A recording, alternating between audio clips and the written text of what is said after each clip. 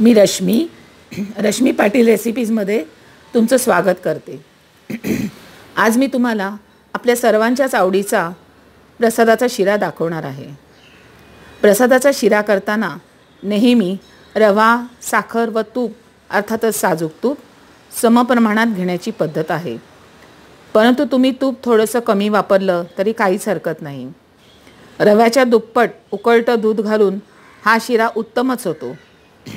दूध कमी गरम असेल किंवा रवा नीट भाजला गेला नाही तर शिरा चिकट होऊ शकतो. तर आता आपण रेसिपीला सुरुवात करूया.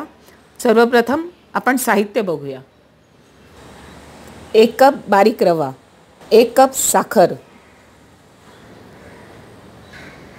एक कप साजूक तूप दोन वेलची केळी बारीक तुकडे करून घेतलेले आहेत किंवा त्याऐवजी तुम्ही हिरवं केळंसुद्धा वापरू शकता. एक टीस्पून वेलची पावडर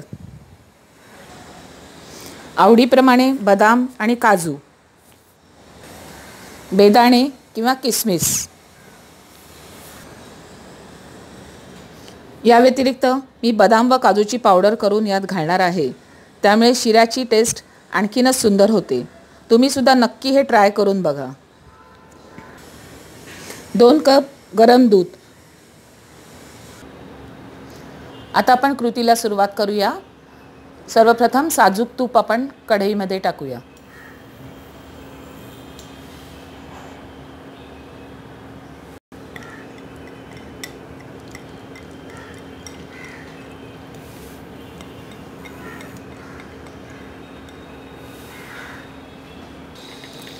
तूप तापलेलं आहे आणि आता आपण त्याच्यात रवा घालूया.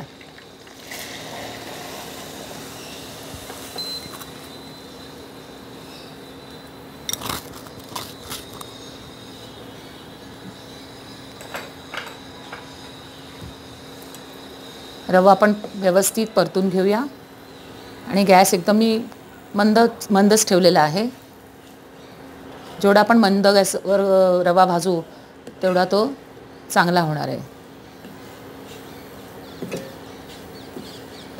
साधारण असा गुलाबी येईपर्यंत गुलाबी होईपर्यंत आपल्याला तो रवा भाजून घ्यायचा आहे. साधारण पाच ते सात मिनटं लागणार आहेत.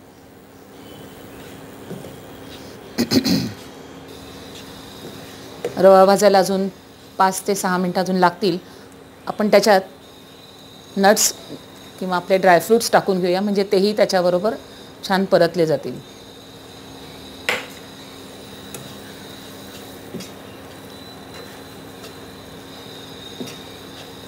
ड्रायफ्रूट्स त्याच्यात परतले गेल्याने त्याचाही स्वाद अतिशय सुंदर येतो.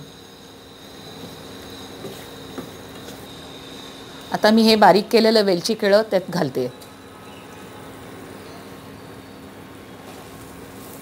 त्यामुळे केळं सॉफ्ट होऊन ते व्यवस्थित शिजलं जाईल. अजून रवा दोन मिनटं खरपूस भाजून झाला की आपण त्याच्यात दूध घालणार आहोत. रवा आता आपला खरपूस भाजून झालेला आहे. मंद गॅसवर भाजल्यामुळे रव्याचा रंगही सुंदर आलेला आहे.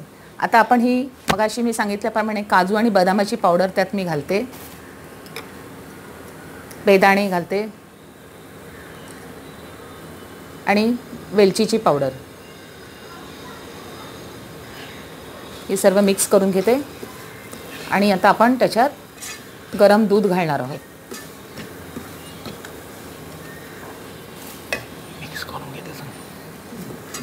सर्व व्यवस्थित आता मिक्स झालेलं आहे. आणि आपण त्याच्यात आता गरम दूध घेणार आहोत. आता आपलं बदाम काजू वगैरे सगळं व्यवस्थित मिक्स झाले. आता आपण ह्याच्यात गरम दूध घालूया. दूध घालताना थोडं सावकाशीने घालायचं नाही तर ते अंगावर उडण्याचे चान्सेस असतात.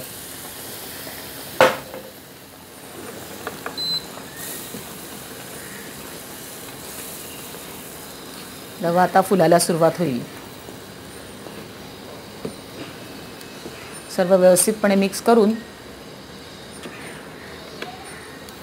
पण आता त्याच्यावर झाकण ठेवून एक दणदणीत वाफ आणूया.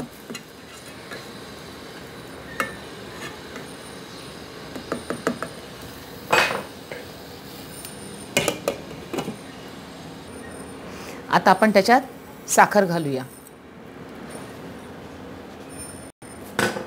आणि साखरसुद्धा व्यवस्थितपणे मिक्स करूया.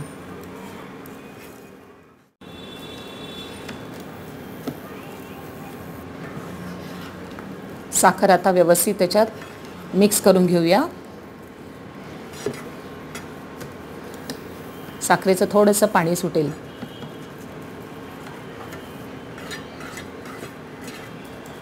आता आपण